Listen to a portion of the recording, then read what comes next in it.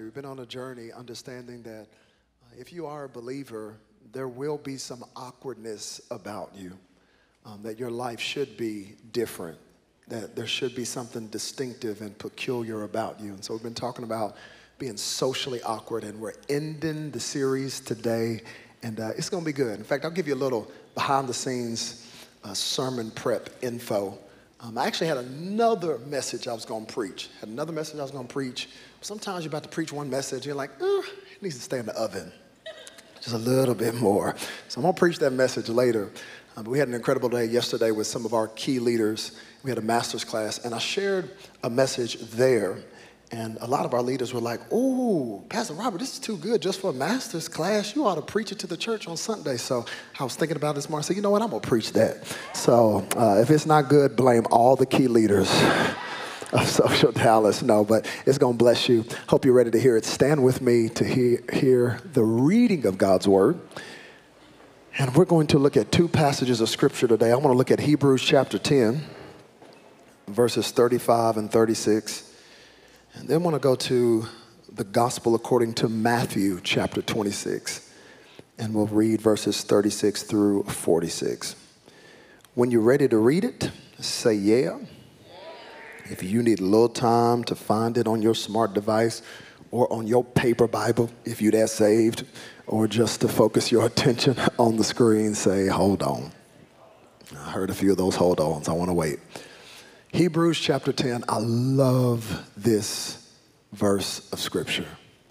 The writer of Hebrews declares this So do not throw away your confidence it will be richly rewarded.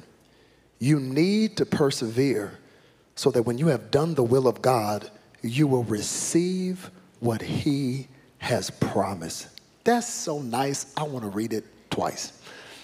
So do not throw away your confidence, it will be richly rewarded. You need to persevere. Hashtag don't quit. So that when you have done the will of God, you will receive what he has promised. In Matthew chapter 26, we're going to look at this moment in the life of Jesus. And it says in verse 36 Then Jesus went with his disciples to a place called Gethsemane. And he said to them, Sit here while I go over there and pray. He took Peter and the two sons of Zebedee along with him, and he began to be sorrowful and troubled. Then he said to them, My soul is overwhelmed with sorrow to the point of death. Stay here and keep watch with me. Going a little farther, he fell with his face to the ground and prayed. This is powerful to me because we are getting intimate insight into the personal prayer life of Jesus. Understand that when the disciples say, Teach us how to pray, and we call it the Lord's Prayer, he has really just given us the model for how to pray.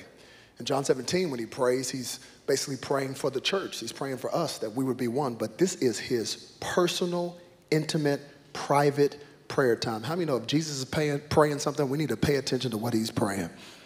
And he says this as he prays My Father, if it is possible, make this cup be taken from me.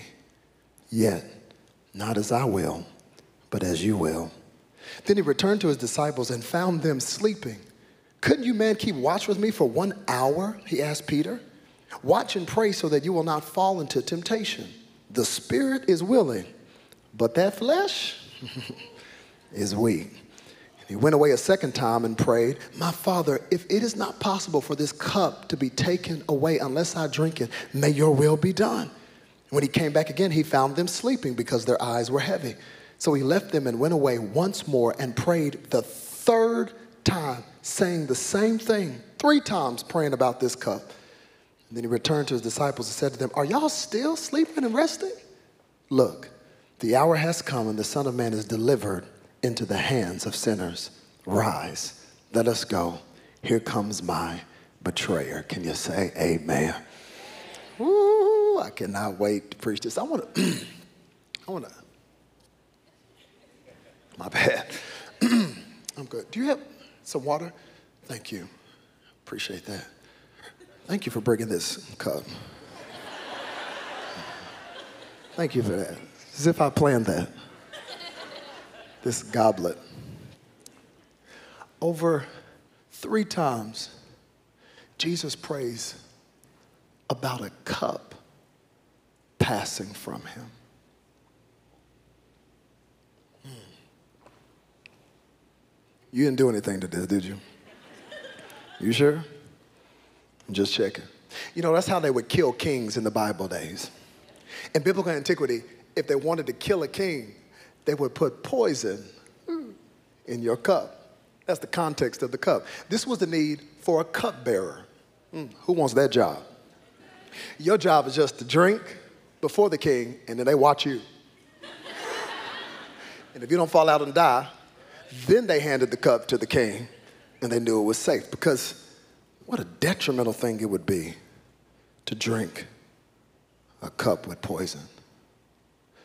But what do we say then of a king who knows there's poison in the cup, but yet he chooses to drink it anyway? That king would have to be confident in the fact that death would not have the final say. that he was coming back again, but he still had to drink the cup. I got a fancy title today. I want to preach to you from the subject cup. cup. You laughing, but you need a cup. You need a cup. Because you need to have confidence under pressure. Confidence under pressure. Lord, I ain't even started and I'm already preaching. Confidence under pressure. Would you bow your heads let's pray and ask God to speak to us? God, thank you for your word. Holy Spirit, speak to us so clearly, so succinctly. God, we've not come here today to be entertained. God, we have come to be drastically changed. Transform us through the power of your word. In Jesus' name. Everybody say it. Everybody say it. You may be seated in the presence of the Lord. Confidence under pressure. It's the last sermon in the series. We may as well just get straight to it.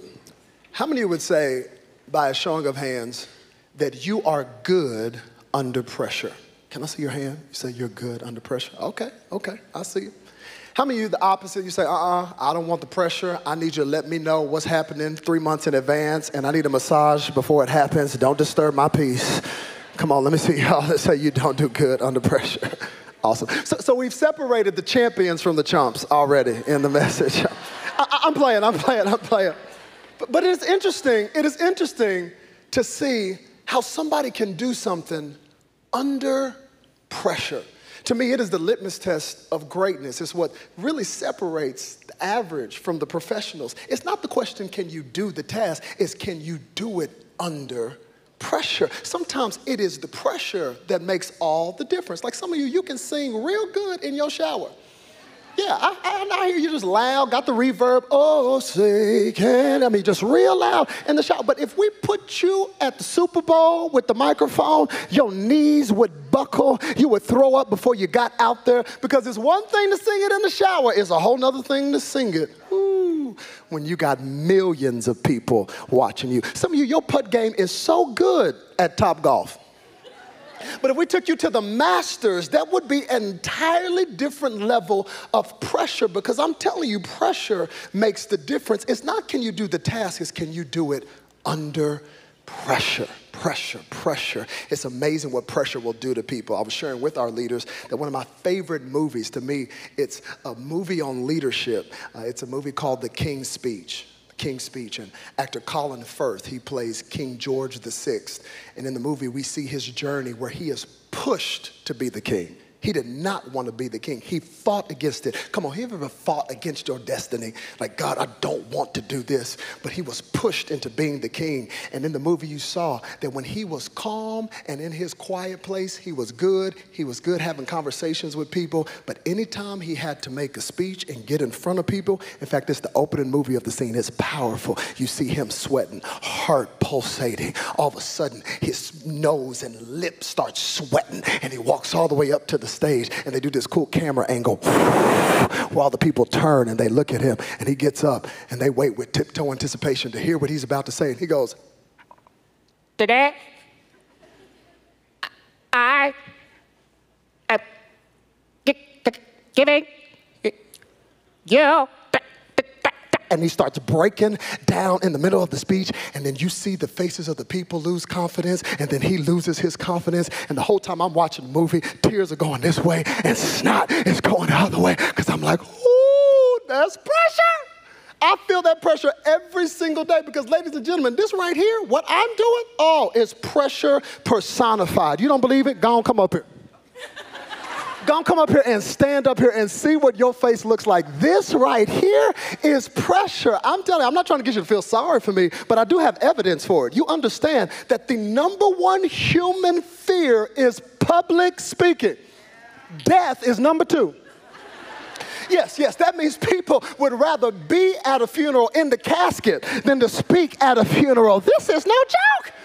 And it's not like I'm just up here giving a TED talk or giving a cute speech. When you preach the infallible, incorruptible, everlasting, eternal, unchanging word of God, you are not just up here saying what you want to say. You are subliminally and serendipitously suggesting to your audience that you are speaking on behalf of the pre existent, incarnate, powerful, omnipotent, omniscient God. No pressure. So before you leave the service today saying, oh, he just complained about preaching and the pressure of it, no, I'm not complaining. In fact, I'm willing to bet anything today. There's a lot of people listening to me who would say, hey, Pastor Robert, I'm not a preacher. I don't do public speaking. But please believe me when I tell you, I am under pressure. Who I'm willing to bet anything today that if the thoughts of everybody in this room and the people watching online right now could go public, you would be shocked at the pressure that the person sitting next to you is under. All kinds of pressure. Here's the thing about pressure pressure is not prejudice. Pressure doesn't care your skin color. Pressure doesn't care who you voted for. Pressure will hit anybody at any place in any time. Pressure will show up in a classroom with a junior hire. It'll show up in a boardroom with somebody giving their first presentation for a job that they knew they shouldn't have got in the first place. Pressure will hit you in any moment. Pressure is in this room today. Pressure to perform. Pressure to meet the deadline pressure to start the business, pressure to meet other people's expectations. Pressure to meet other people's unrealistic expectations. Pressure to be the perfect parent. Pressure to be the husband you're supposed to be. Pressure to be the wife you're supposed to be. Pressure to be the wife that was there before you. Oh, I'm gonna hit everybody today. Pressure. It's crazy the amount of pressure that people rest under. All kind of financial pressure, and then got people asking you for money as if you don't have pressure on your life too. The other day, I filled my tank. True story. I'm filling my tank. I'm sweating as I'm filling my tank. A hundred and five dollars to fill up my tank. I'm not lying. Then I get in my car and look at the temperature. It's 105. I said, "This is hell right here. How in the world? How in the world? My gas." gas tank price and the temperature is the exact same pressure. Pressure, pressure, pressure, all kinds of pressure. Pressure to get married. It's funny because people will say stuff to you in conversation, sometimes casually, and sometimes what they say will bring pressure. Oh, you still ain't found nobody? You know you ain't getting younger pressure, pr- pressure to have kids. I sure would like to have some grandkids this century. Pressure. Pressure to go back to school because everybody in your family has more degrees than a thermometer. And there you are, struggling at the dinner table as they're talking about what papers and what dissertations they're working on. And you sitting up here going, Yeah, did y'all catch that Netflix uh, show? And all of a sudden, you start to feel pressure. You would be shocked at the pressure that is in this room. And I found it is the trick of the enemy to get you to buckle under the pressure, to get you to cope and medicate the pressure. But I'm telling you, God gives us this insight into the life of Jesus and the final moments as the cross is pending to show him and show us that you can have confidence under the pressure, that you can feel the pressure and still stand up and say, Not my will, but your will be done. I have been called for such a time as this. And although I have the pressure, the pressure does not mean I'm not called to it. Ooh, see, here's, here's what I love about God. I am fully convinced that the enemy cannot stop the call of God that is on your life. Oh, he cannot do it. If you're nervous about the enemy messing up your call, chillax today and rest in the fact that the enemy cannot mess up your call. He can't touch the call of God that is on your life. As a matter of fact, the enemy can't even do anything with the gifts God has given you to accomplish that call because your God is so good. He made sure that you already had every gift that you needed to accomplish the unique call that was on your life. Quit being jealous of other people. Quit comparing yourself to other people. You've got the gift that you need for the call that you have. The enemy enemy cannot touch your call, he cannot touch your gift. Oh, but he can touch your confidence. And if he can get your confidence, you will shrink back from your call. And often the way he gets your confidence is through pressure. He attacks your confidence through pressure, getting you to be intimidated, getting you to back down from something you should be stepping into. I cannot tell you how many people I have seen in life that God has a call on their life. They're anointed to do it, they're gifted to do it, but instead of stepping up, they step back in intimidation because of the pressure. Pressure. I want to know how are you doing with the pressure? How is the pressure on your life? Do you have confidence in the pressure or are you buckling under the pressure. If I'm being honest, I think pressure mounts up for Christians more than any other group of people. Oh, yes, because let's not get it twisted. We are under attack.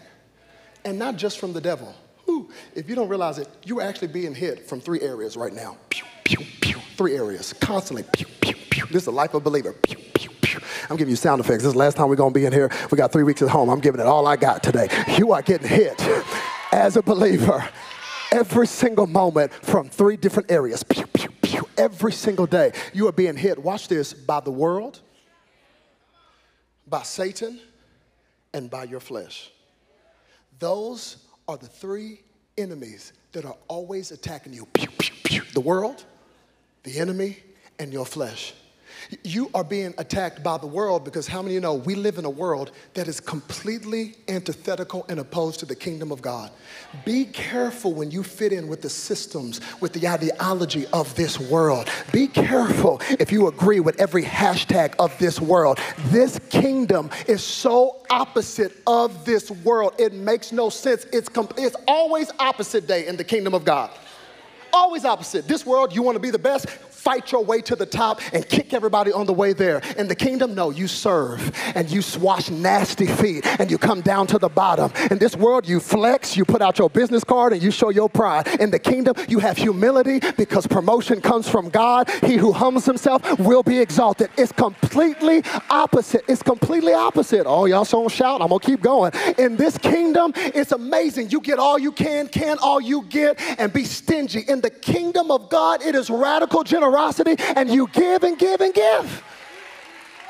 This kingdom, ooh, this kingdom, you can make statements like, I can do what I want. It's mine, not in the kingdom of God. You were bought with the price, you are not your own. You got to be real careful because this kingdom of the world is completely opposite of the kingdom of God.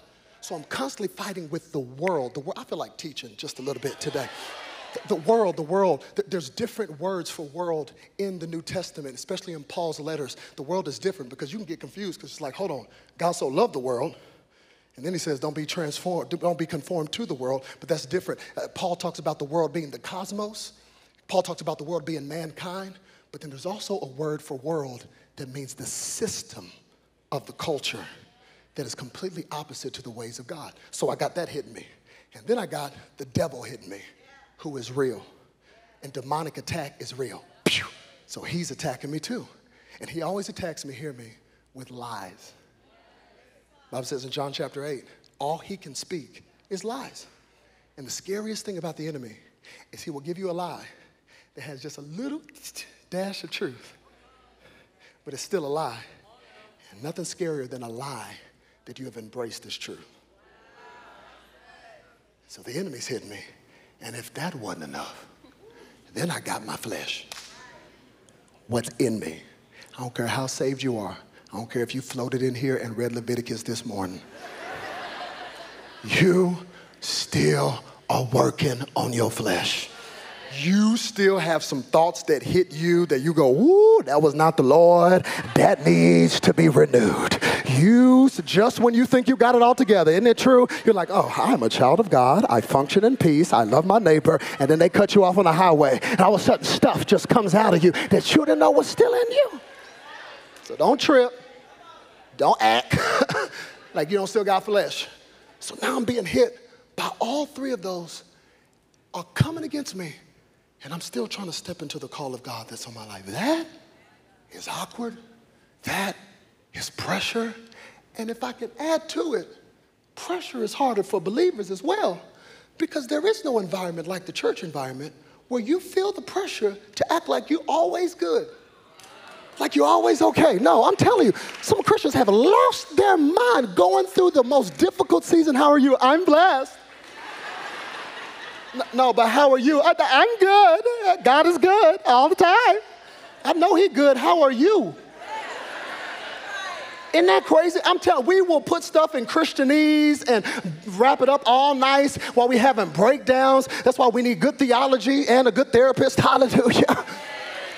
Because it's crazy sometimes in the church, the pressure to be like you. Okay, in fact, I'm going to interrupt this regularly scheduled sermon so you get involved in a, a, little verbal exercise real quick. Would you do me a favor and just look at your neighbor? I know it's awkward, but come on, we ended the series. Look at your neighbor, whichever one you choose. Look at them, say neighbor. Oh, neighbor. God is good all the time.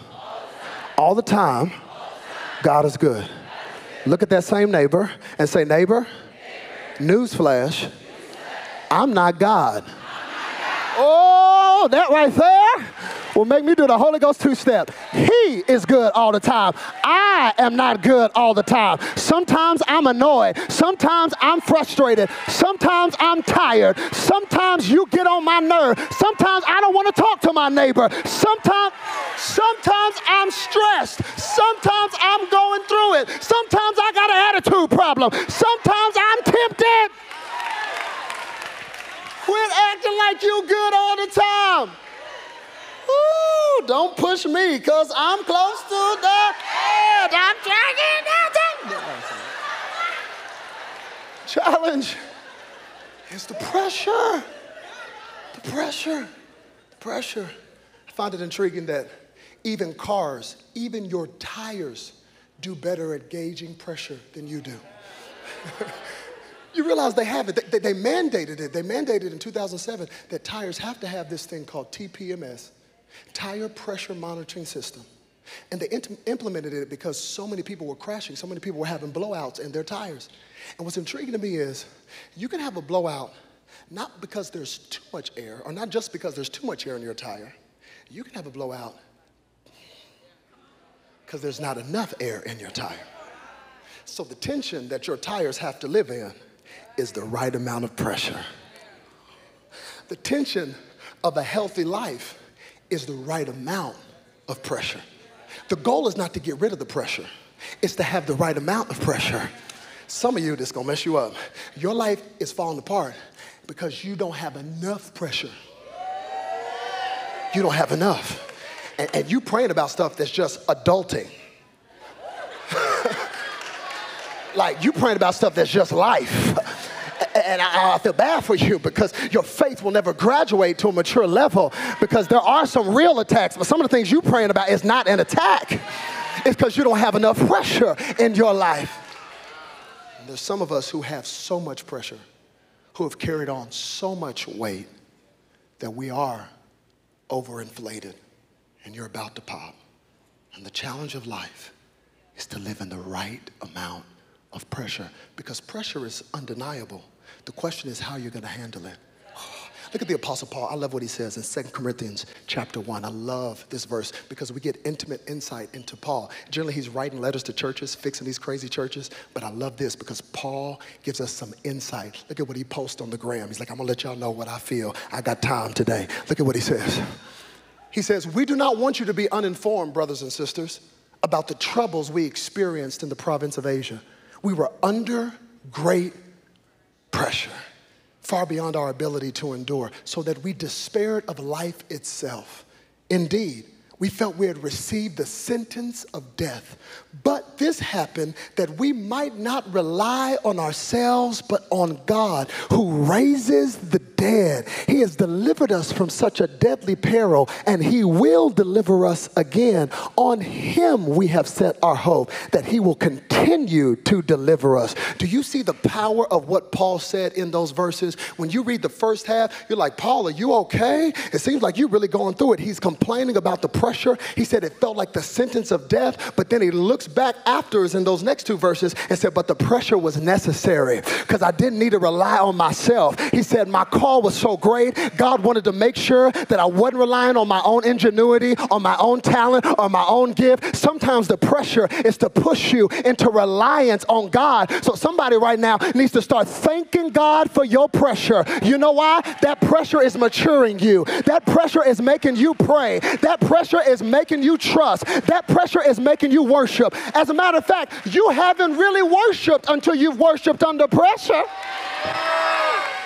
Anybody can worship when your spouse is good, your kids are making straight A's, you got money in the bank, you got the raise and a brand new Tesla. That is not the test of your worship. I want to know can you worship when you got the divorce papers and when there's sickness in your body, when your kids are going crazy? Can you still say, This is a house of miracles when you got hell in your house? That's how I know you really can worship because I did it under pressure. Oh, anybody can shout when God sends you flowers. I want to know can you shout when you're facing a fiery furnace like the three Hebrew boys and say, My God can deliver me, my God will deliver me, but even if He doesn't, I'm not going to bow down because I know that the pressure is creating something greater on the inside of me. My worship goes up under the pressure. Oh, I wish somebody would take like 15 seconds and praise God like you know that you worship better under the pressure. Oh, you ain't been through nothing. I mean, praise Him like you know the pressure is creating a greater glory on the inside of you. I'm better under pressure. I was made for this under pressure. Devil, if you wanted to kill me, you shouldn't have sent the pressure. All right. Y'all calm down. I said I was going to teach today and be very calm. Pressure the pressure is doing something in your life. The pressure is creating something in you that you would not have if not for the pressure. They don't massage coals to get diamonds. Somebody just got it. It's the pressure that creates it. You need the pressure. Here we have the life of Jesus, who's in a garden. He already knew he was going to the cross. He knew that before the foundation of the earth. He knew it when he showed up in Bethlehem. But as it's getting closer, he's under pressure. So much so that we'll later find out he is sweating blood. That's pressure. And I look at this intimate life of Jesus that would make him pray three times and sweat blood. There's at least four things I see in this text that will help us to have confidence under pressure. I want to give you four things. I'm not going to be before you long, just these four things. And I have points today, which is a big deal, so you should take notes. Four things that you have to have if you're going to have confidence under pressure. Number one, you want to have confidence under pressure, you need a preview. A preview. You need a preview of what? A preview of the promise of God that is over your life. In between the preview and the premiere date, there will always be pressure. And if you don't hold on to the preview while you're facing the pressure, you will walk away and miss the premiere date. And Bring it all the way home. How many of you uh, you like movies? Like going to the movies? Where my movie people at? Come on, I can rock with y'all. Actually, take that back. I can rock with half of y'all because there's two types of moviegoers. There's some of y'all that if the movie starts at seven, you leaving the house at 6.55. Talking about, it's previews.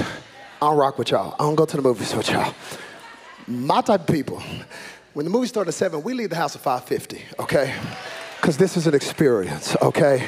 I, I have things that I have to do, okay? I need to get there in time. I have to get my seat. I have to get my icy. I got to strategically mix the red and the blue together in the slushy. I got to get my popcorn, look at the attendant, and say, hold up, don't fill it up to the top. I got to have time to put the butter, shake it, and do it again. I like getting there in time. I don't want to rush. I want to step over every. No, no, no, no, no. I want to sit in my seat and I want to see the previews. I need the previews. I have to have the previews because the only thing better than going to see a movie is going to see what movie you're going to see next while you're seeing the movie. I like previews.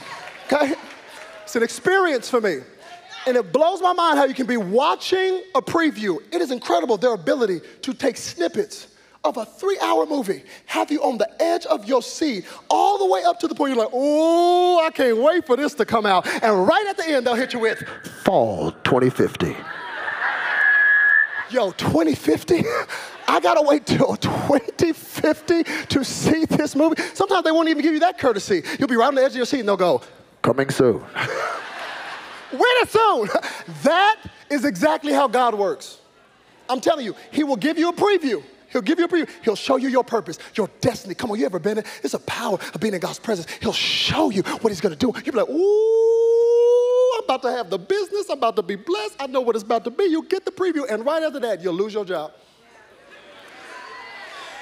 You'll be like, I thought you said. I told you, coming soon. when is soon? I'll tell you when. and the pressure is having to wait in between the preview and the premiere date. This is how God works. He did it for everybody. A- Abraham, Abraham, Sarah, same thing happened. God says, Look at the stars, look at the sand. I'm gonna make you the father of many nations. Preview coming soon to a womb near you. Sarah, you're gonna give birth. They had to wait and wait. Now they senior citizens going to CVS, buying dentures and diapers, waiting on the premiere day.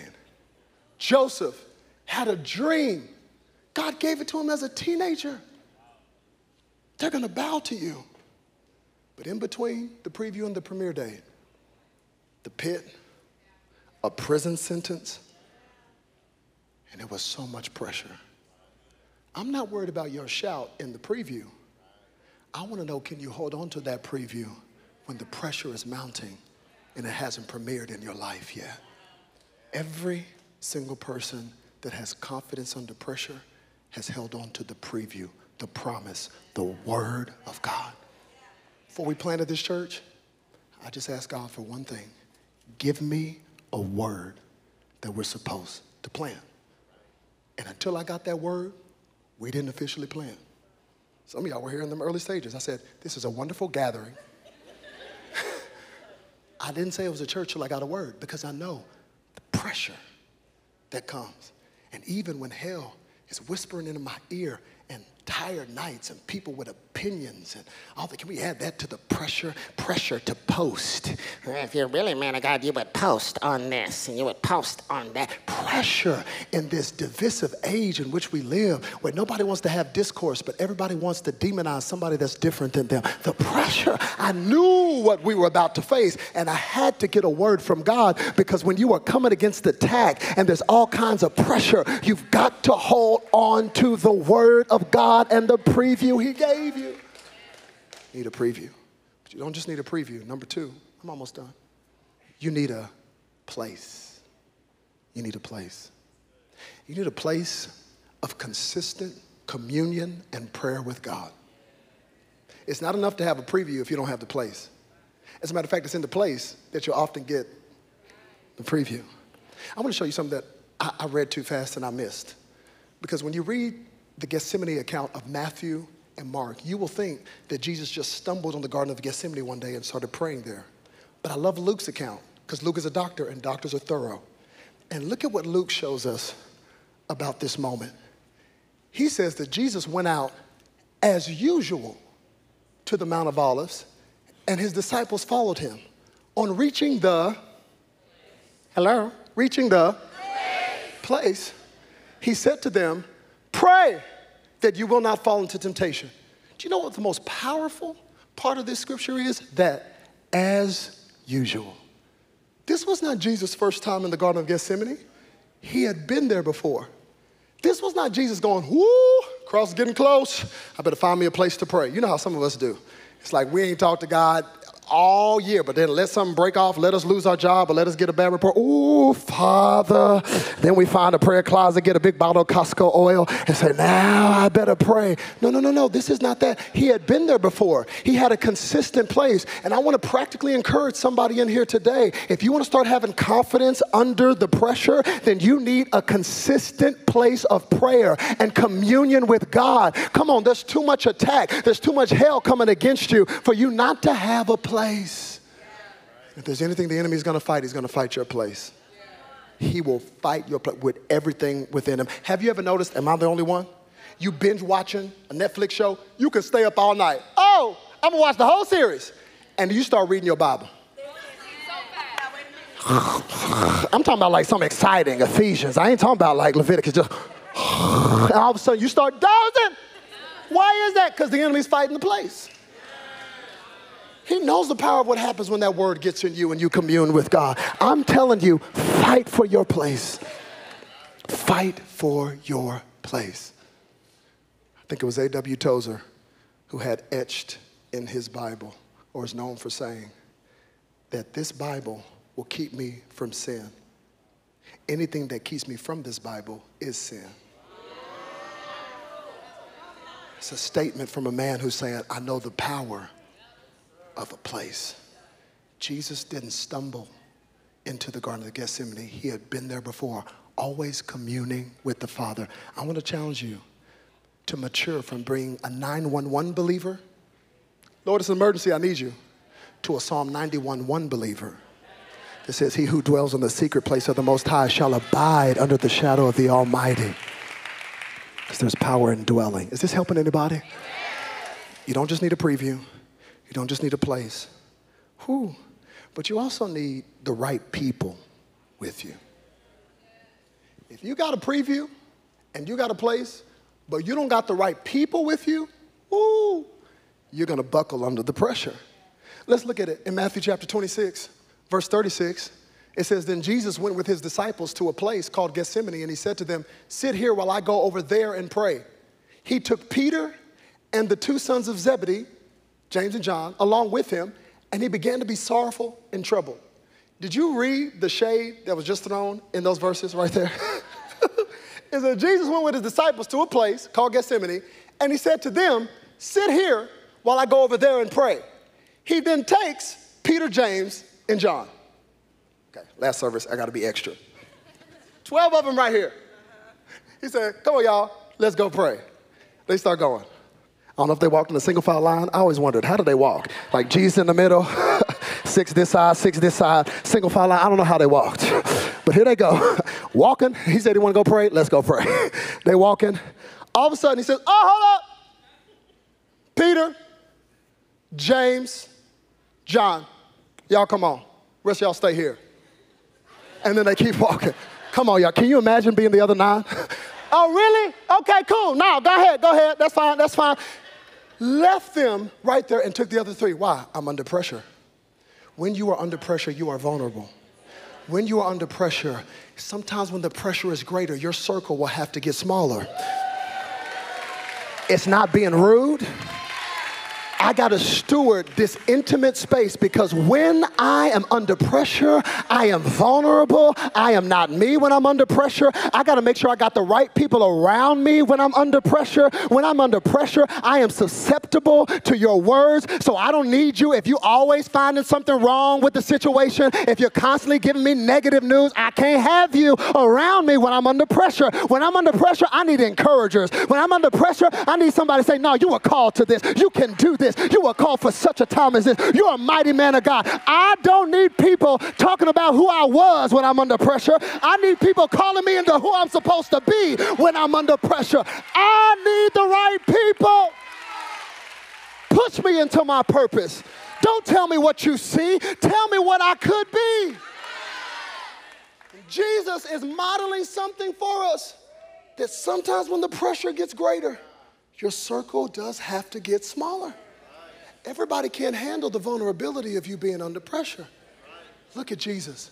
the same Savior who was asleep in a hurricane, they panicking. Ah, Lord, don't you care? They're waking him up. What? It's a hurricane. Oh, all right. Peace. Be still. this same Savior is now running to them. Tell them about wake up. Please, can't you just pray with me one hour? He's vulnerable. He's under pressure. It's a difference between a hurricane hitting your boat and a hurricane hitting your heart. Because the first time in his life, the father is going to turn his back on him. He has never been disconnected from his father. And even before the cross, he can feel the separation coming because of my sin and your sin. He's under pressure. And when you're under pressure, you gotta have the right people.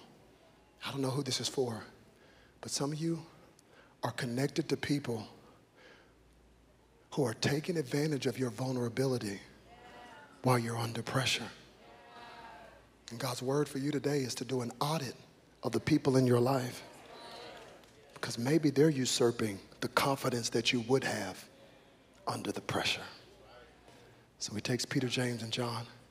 And right when I got excited about the preview, and right when I got excited about the place and the people, these fools show me that even if you have the right people, your confidence still can't be in those people. Because he has the right people, and he just asked them to pray. Come on, this is a dude that's done miracles, who's let you roll with him the greatest internship for three years. He's asking for a little prayer time. And although he has the right three, look at what they do. three times sleeping, proof positive of the fragility of humanity. And that although you have the right people, your hope cannot be in people. Your hope. Some of you, you're so heartbroken, and I'm not justifying what that person did to you, but I am saying you might have had too high of a hope and a trust in that person. And some of us, that's the problem. We don't realize that the flesh is weak and the spirit is willing. Stop judging people that fell asleep on you when you sleep too. You sleep too? I don't know, maybe because I'm getting older. I got so much grace for people now. It's like, it's cool. Go on sleep. You see how he finally got there? It's like, go on sleep. Don't worry about it. Some of us, I'm telling you, that's why we have a whole generation that's like, Yeah, my church hurt. and I'm not belittling it.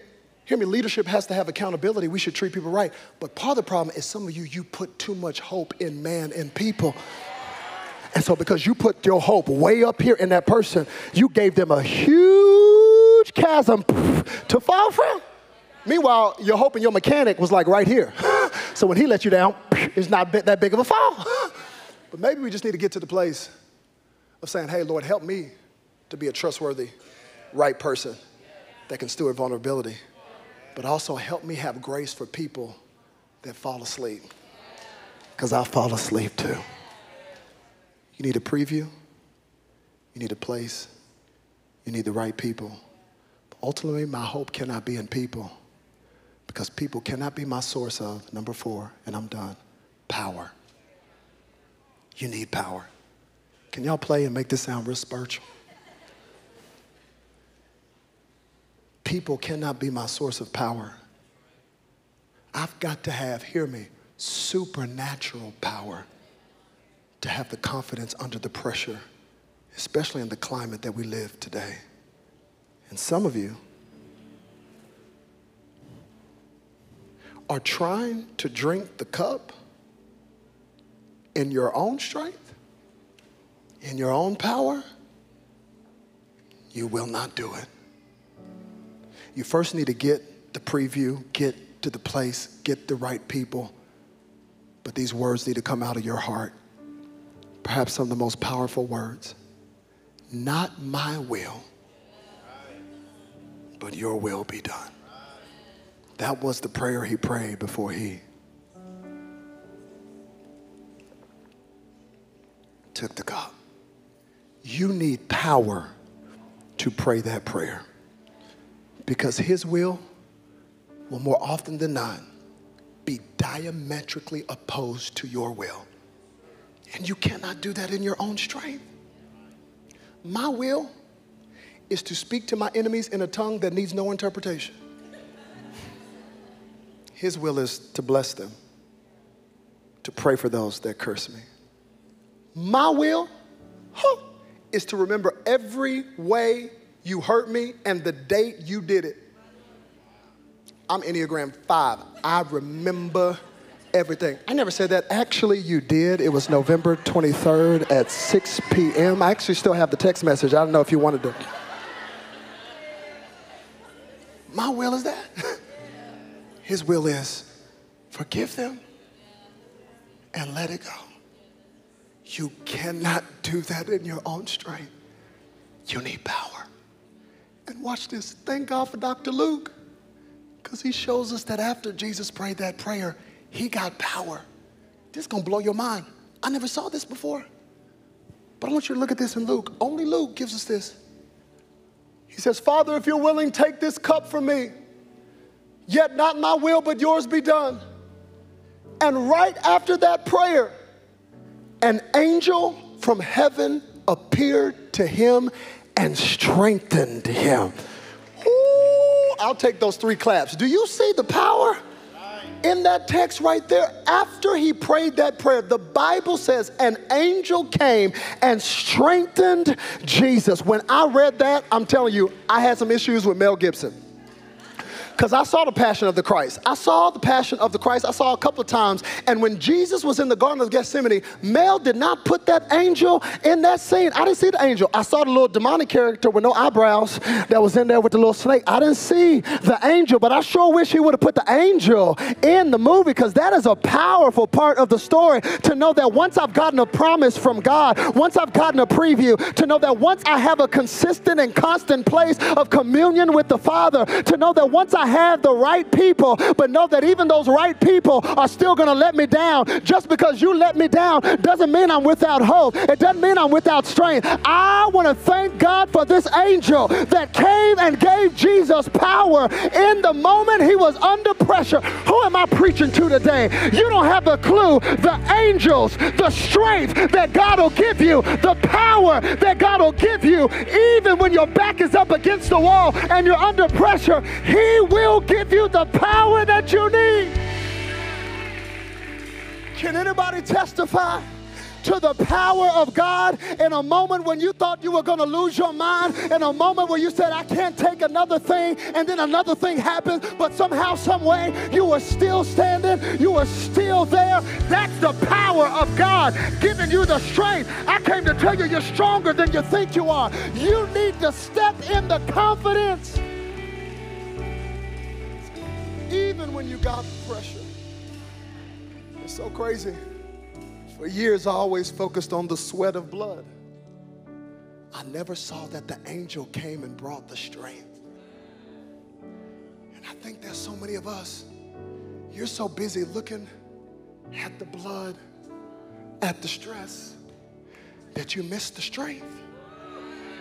You don't even realize the strength that came to you even when you felt like breaking down, but you did it. You don't even realize the strength that came to you. That's why you should never let anybody judge your worship. We're not just singing songs. Strength comes into my life as I lift up my hands. Strength comes into my life as I sing these songs. Strength comes into my life as I open up my mouth and give God praise in the midst of my pain. Come on, I need somebody even right now to get up on your feet. God wants to give you strength today, but you better open up your mouth and lift up your hands to heaven and say, God, I need the strength. I've been looking at the sweat, but God, give me strength. Give me power to raise these kids. Give me power as I'm back in school. Give me power on this job. Give me the confidence I need under the pressure.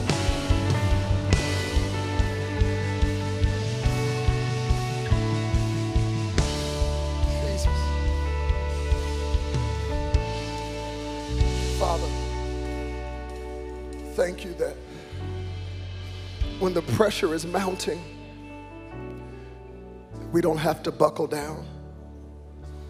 God, thank you that the pressure is producing something that the comfort never could. You're giving us a greater weight of glory. Father, would you help us today to switch our perspective from looking at the sweat of blood to looking at the strength that we've received? Thank you. In the climate where so many people are losing their mind, they are going to substances to cope with the pressure. Father, we come to you